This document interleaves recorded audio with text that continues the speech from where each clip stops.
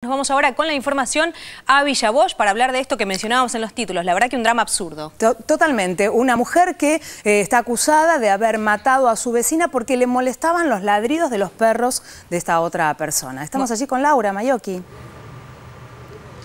Buenas tardes, Agustina, Gabriela, si me pueden ver, si me pueden escuchar. Locura y conmoción aquí en el barrio Los Manzanares de Villa Bosch, en el partido de 3 de febrero. A mis espaldas se ve el trabajo de efectivos de seguridad que continúan trabajando desde las primeras horas de la mañana. Ya se llevaron los perros en la división CAN, aquí de 3 de febrero. También han podido sacar eh, finalmente a esta mujer, a esta anciana que ha quedado encerrada con estos perros luego de que su hija matara a la vecina y y se diera a la fuga. Si les parece bien, vamos a recordar cómo se dio la cronología de los hechos desde las primeras horas del día.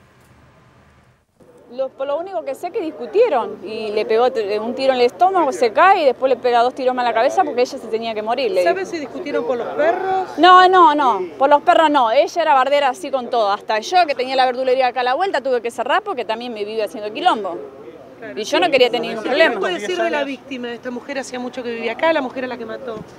No, la chica que murió hace poco, porque ella estaba alquilando acá, vive con el hijo que tiene creo que 18, 20 años. Ellos dos nada más. ¿Y la mujer que murió qué edad tenía? Y entre 35, 40. ¿Y de la madre qué nos puede decir? Y la mamá vive ahí postrada, yo no sé ni cómo está. Habría que ver cómo está la madre porque la mina es muy sucia. Eh, para mí que le pega a la madre, no sé ni cómo está. Me gustaría que cuando la saquen la vean en qué condición está, porque no sé. que los perros la ataquen a esta mujer? Y sí tiene perros bravos, así que no sé, son como 10, 15 perros tenía, pero últimamente mató un montón de perros ella. ¿eh? Empezó por una pavada y terminó algo grave. Primero eran amigas, y después no sé qué, qué interna hubo, pues imagínate, yo trabajo, estoy en mi casa, no, no estoy pendiente de lo que hace el vecino. ¿Y anoche entonces qué fue lo que pasó anoche? Y porque a uno le molestaba los perros, porque el otro no podía sacar, eh, siempre había algo, siempre. ¿Puntualmente cómo fue la pelea de anoche? Sale ella, y yo estaba al fondo de mi casa, ¿no? No sé qué es bien lo que pasó, porque yo vivo al fondo. Lo que sí veo que sale discutiendo. Dije, bueno, de vuelta lo de todos los días.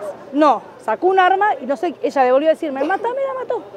¿Cómo, ¿Cómo te estoy diciendo? Es lo que yo vi.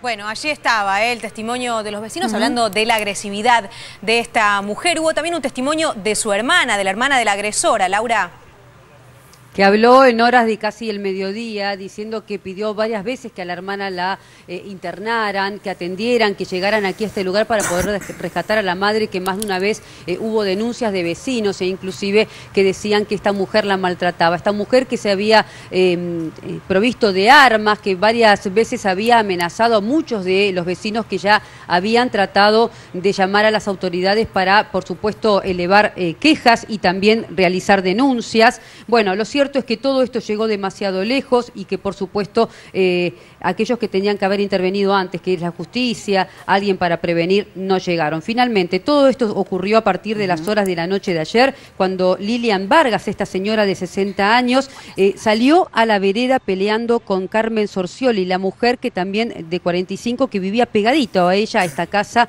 Eh, se trabaron en una suerte de discusión y Lilian Vargas, sin decir más, empezó a mm, dispararle a su cuerpo, a quemar ropas. Una de las balas ingresó por su abdomen, otra por las piernas y la tercera bala eh, fue cuando ella ingresó a su casa, volvió y le disparó en la cabeza sin mediar palabras. Uno de las personas, eh, uno de los vecinos que estaban aquí, pudo ver esta secuencia y pudo decir, eh, por supuesto, que si bien quisieron ayudar a la vecina, no llegaron a tiempo. Esta mujer, Carmen Sorcioli, que fue baleada de tres disparos certeros, agonizó en esta vereda de la calle Darwin al 720. Nadie pudo rescatarla a tiempo y lo cierto es que esta mujer, luego de ver lo que había realizado, se dio a la fuga.